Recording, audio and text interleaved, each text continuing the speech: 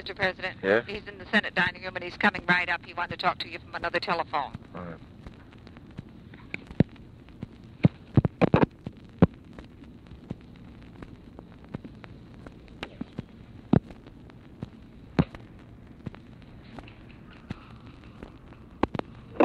Hello? Senator Humphrey.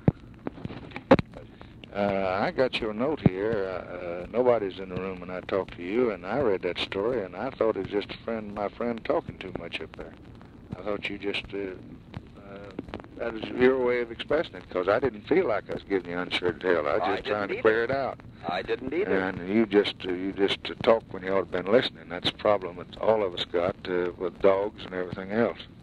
Well, yes. I read the story, and it looked like it came right from you, and you just said, "Oh God Almighty, I just caught hell."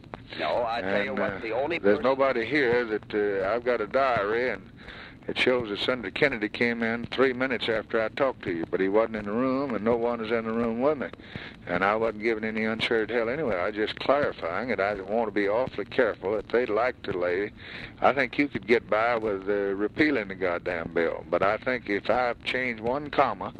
Gloria Richardson's already gone out here at some of the Justice Department's indication and said she has no confidence in me. And that's what they're doing, and I don't want, I want to be awfully careful, and that's all I was saying. I understand that. Look, I'm not being critical of you at all. I know it, but I don't want to hurt you. I want to help you. Uh, I'm trying to build you up. I'm trying to make you the greatest man in the world. And uh, uh, I'd be the last man in the world to say I ever correct you about anything. I might say you corrected me. Well, I But uh, nobody, nobody in this office did it, and it didn't come from here.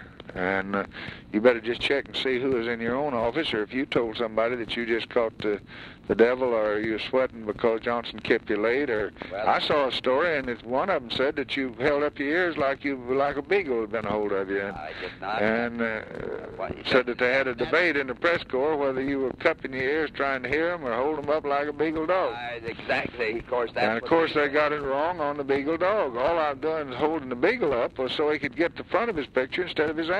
I know. I, They got his ass for 10 days here, and I want to show him a good, well-formed head. And besides, when the, the hound dog barks, I don't want to get in the paper on this, but that's that's his pleasure. That's not his hurting. well, let me just say, the only person that I mentioned that you and I had talked at all to was Well, Roy that's- Wilkins. that's enough. Roy Uh, Wilkins, and I did this. I did this because I wanted him to know Yeah. that uh, that anything that's- that might have been in the paper in reference to you was uh, only Well, my he is probably trying to correct it with to help both of us, but it hurts you in Minnesota. I don't want to do it. I want to do anything I can to help you. don't Now, they want that. McCarthy coming in here to take a bunch of pictures for his book. I told him send him on in. We'll do that, and I'm not worried, but I don't want you to ever think that I'm not. Uh, I don't want to help you. Well, I know you wouldn't. I know. I wasn't. I, I just thought that some. I was told by uh, one of the Senator boys- Kennedy, I talked to you at uh, at uh, uh, 12:11, and uh, he came in at 12:14. That's what our diary shows, and they they have me tapped. They have everything I do. I got I can't even hold up a dog without getting in the paper about it. Go on, are you doing? You going to do any making any progress?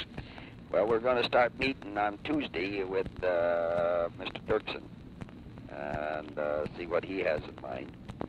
We had uh, quite a little session around here today going through all the possibilities, the pitfalls of the arrangements between the House and the Senate in case this bill is amended over here. But uh, we'll uh, we'll do the best we can in these meetings. I've tried to make it crystal clear around here that we've got our job to do, what your position is. We know what it is. We'll just go ahead and do the best we can. God bless you, my friend. Yes, sir. Bye. Bye.